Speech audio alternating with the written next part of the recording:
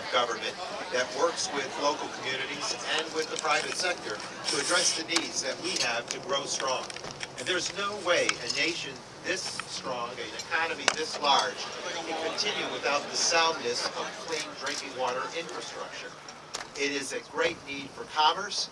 Uh, when we unveiled legislation that I'll mention in uh, my comments, we did it at a local distillery where as a stand-up organization, a startup that's uh, offering uh, a lot of opportunity to the local economy, they're utilizing 50 to 100,000 gallons of water per month. And there were a number of groups in an industrial park setting that equally stated their need and their reliance on clean, clean water.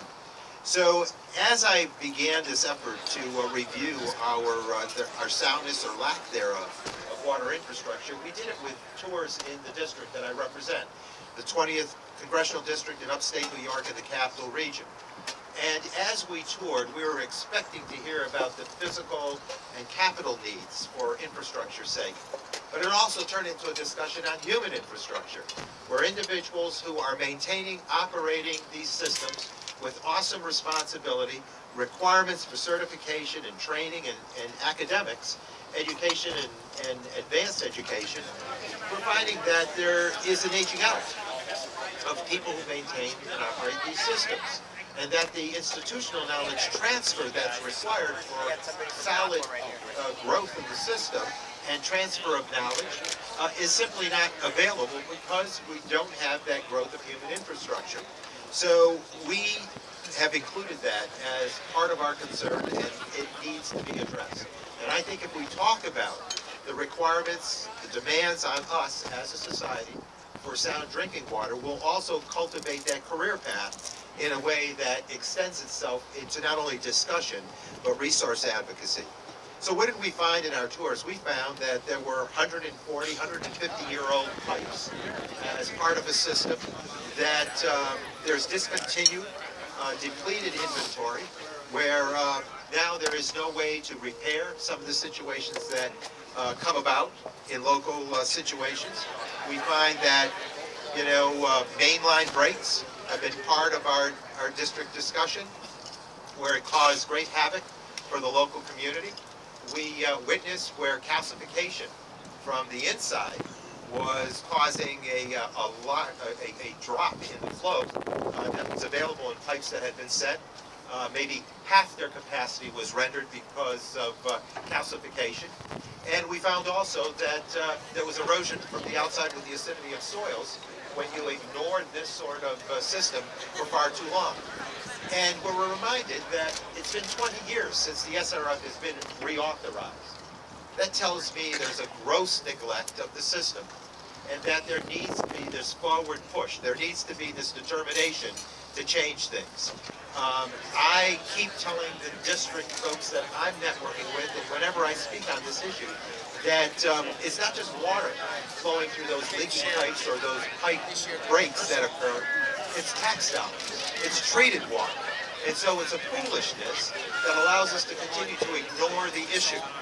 Leaking pipes are causing 7 billion gallons of water uh, lost uh, a day, which is terrible.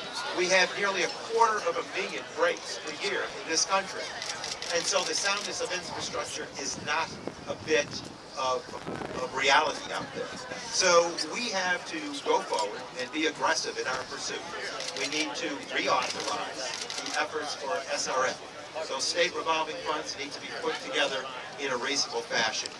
Now, in this town, it's become very fashionable to say no and to not invest and divest if we can. That's a fashionable thing.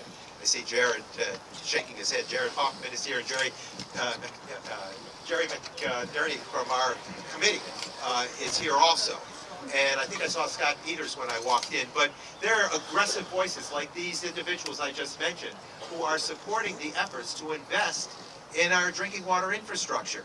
And so that, that foolishness of tax dollars flowing along with the water will only uh, speak to the soundness of this bill, of H.R. 4653, which begins with a $3.13 billion investment rather than the routine 8 to 900 million, which by the way was the price tag that we heard from Flint.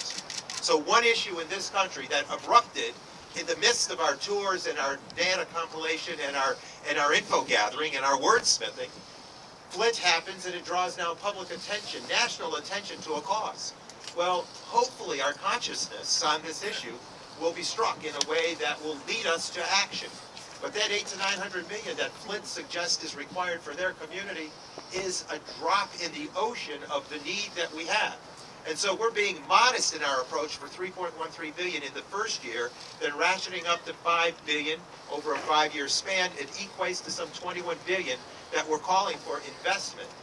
I know that's going to get a harsh review by some, but I think it's a modest approach to a critical issue. We're going to continue to advance that effort. For 4653, we include lead contamination as a response uh, effort in the bill that sets aside dollars, again, ramped up over a course of five years, to speak to communities that have the, uh, the tremendous need right now to address lead contamination, and an effort to look at the effects of climate change and uh, flooding and droughts that have uh, impacted our water supplies. So it's a technical response to what is a very technical issue. It's a national uh, uh, bit of rhetoric to what is a national discussion. We need to see this as a national agenda, and we need to work with our local governments and state governments to make things happen and tell people that we're concerned, we care enough to roll up our sleeves and support and reinforce efforts to uh, focus uh, heavily and laser sharp on our drinking water infrastructure. I would encourage all of you, as you go home after your forum, after you're coming together in a Water Week sort of uh, celebration, to go back and suggest that tours be held and that you raise this issue publicly. This is an out of sight, out of mind infrastructure. It took us forever to do the roads and bridges and highway infrastructure issue. We dragged our feet and there was concern and there was tugging against doing uh, an investment in highway infrastructure, transportation infrastructure. And that is visible. If you're parked under a rail or, or a highway overpass, you can see the deficiency, you can see the decay of that infrastructure. This hidden infrastructure, out of sight, out of mind, cannot be the outcome. It cannot be the outcome. So we need to go forward with an aggressiveness, there's a sense of stewardship that is real, and a, an opportunity to embrace new technology, gauging opportunities that will advance us doing it ahead of breaks in the system. I'm reminded by fellow engineers that it's a 10, an order of savings of 10 times if we get to these systems before they break. That's sound government. That's sound policy. Invest before you have the break. Save an order of 10. Invest now. Also, use the new technology. Perhaps line some pipes in a way that will use new resins that are coated and, and proven uh,